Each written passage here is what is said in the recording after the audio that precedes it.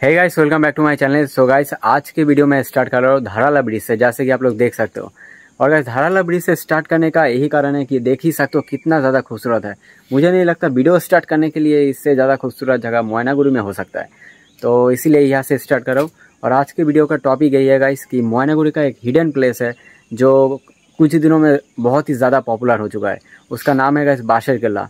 और बाशर किला में मैं पहले भी गया था लेकिन उतना ज़्यादा खास नहीं था। लेकिन गाइस अभी आ, मुझे पता चल रहा है दोस्त लोग मेरा, मेरा गया था कि बाशर किला जो है अभी बहुत ही ज़्यादा खूबसूरत कर चुका है।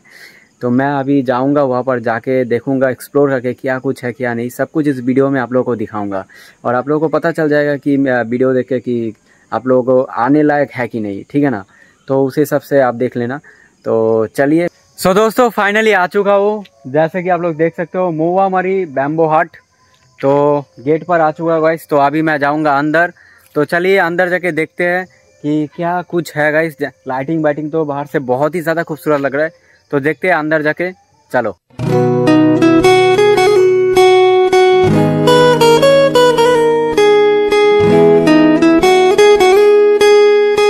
सो दोस्तों, जैसे कि आप लोग देख सकते हो, मैं अभी खड़ा हूँ बाशर कला का मेन व्यू पॉइंट पर।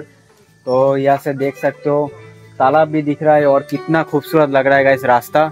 और यहाँ पर बैठने के लिए बहुत ही ज़्यादा जो है अच्छा जो है चेयर दिया गया है, जैसे कि आप लोग देख सकते हो। और भी बहुत कुछ है यहाँ पर तो देखते रहो वीडियो में। और इसको बैम्बू हट इसीलिए बोला जाता है गाइस पूरा बाँस का बना हुआ है। जैसे कि आप लोग मेरा पीछे जो है चेयर देख पा रहे हो, ये भी बाँस का है। तो ये सब भी बाँस का बना हुआ है। इसीलिए इसको बैम्बू हट यानी कि बांसर किला बोला जाता है।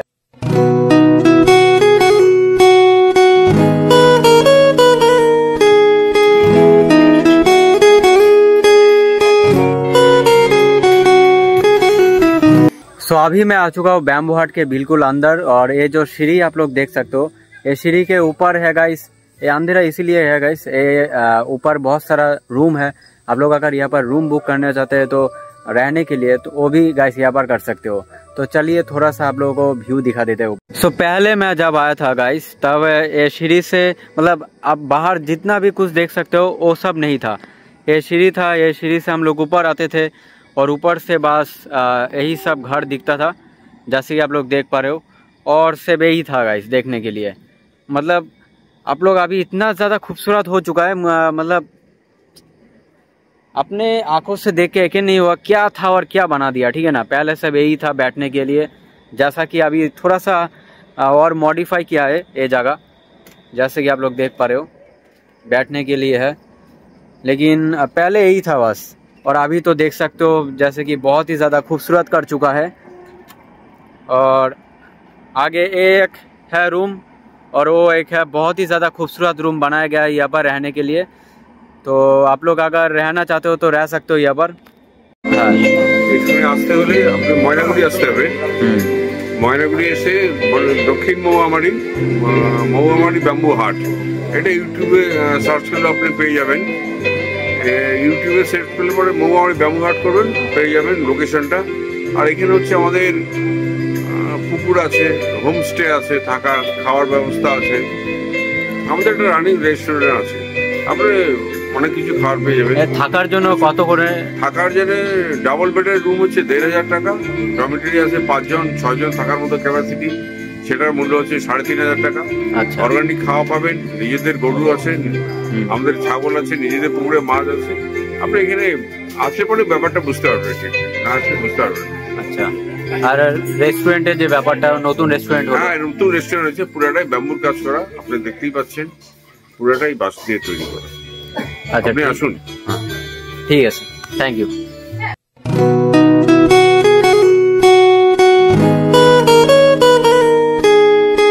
so so, bamboo Haat में एंट्री करते ही आप लोगों को यहाँ पर दिखेगा गाइस बैठने के लिए जो है यहाँ पर झूला दिया गया है। तो ये सब कुछ बाँस का बना हुआ है जैसे कि आप लोग देख पा रहे हो। मतलब बैम्बो हट इसलिए बोलते हैं गाइस सब कुछ यहाँ पर आपको बाँस का नज़र में आएगा। और सामने आप लोग देख पाओगे यहाँ का मेन व्यू पॉइंट यह से बहुत ही ज़्यादा जो है खूबसूरत लगता है रात में भी और दिन में भी। और यहाँ का स्पेशल चीज़ यही है गाइस कि नया नया रेस्टोरेंट बना है बहुत ही ज़्यादा खूबसूरत है। तो चलिए अंदर जाके आप लोगों को और भी अच्छी तरीके से सब कुछ दिखाता हूँ। सो so, रेस्टोरेंट के बाहर में जितना कुछ आप लोगों को नज़र में आएगा सब कुछ गाइस बाँस से बनाया हुआ है जैसे कि आप लोग देख पा रहे हो। सो so, दोस्तों मैं अभी बैठा हूँ बासर किला का बिल्कुल मेन रेस्टोरेंट पर। तो जैसे कि आप लोग देख सकते हो कितना छोटा छोटा जो है कुर्सी बनाया गया है बहुत ही ज़्यादा प्यारा लग रहा है। और पूरा जो है गाइस आप लोग देख ही सकते हो पूरा बाँस का बना हुआ है और मुझे तो गाइस काफ़ी ज़्यादा अच्छा लग रहा है। मतलब मैं सोच भी नहीं सकता गाइस मतलब मैं पहले से देखते आया हूँ ना कि क्या था और क्या बना दिया गाइस बहुत ही ज़्यादा प्यारा है बहुत ही अच्छा लग रहा है। तो मैं तो रिकमेंड करूँगा गाइस आप लोगों को कि ज़रूर आप लोग आओ एक बार चेकआउट करो। मुझे भी लगता है आप लोगों को अच्छा ही लगेगा। सो so, बाँस से बनाए हुआ ये रेस्टोरेंट बाहर से कुछ ऐसा दिखता है। और अंदर से कुछ ऐसा। मतलब बहुत ही ज़्यादा खूबसूरत है गाइस जैसे कि आप लोग देख पा रहे हो। सो so, बात करें अगर रेस्टोरेंट की मेनू की जैसे कि आप लोग यहाँ पर देख सकते हो पूरा मेनू आप लोगों के सामने में रखा हो। तो आप लोग यहाँ पर स्क्रीनशॉट करके या फिर वीडियो को पॉज करके आप लोग देख सकते हो यहाँ का मेन सो so, घूमने के लिए तो ये जगह अच्छा ही है लेकिन यहाँ पर आके गाइस आप लोग शूट भी कर सकते हो जैसे कि आप लोग देख पा रहे हो। एक शूट अभी चल रहा है जो बहुत ही ज़्यादा जो अच्छा लग रहा है।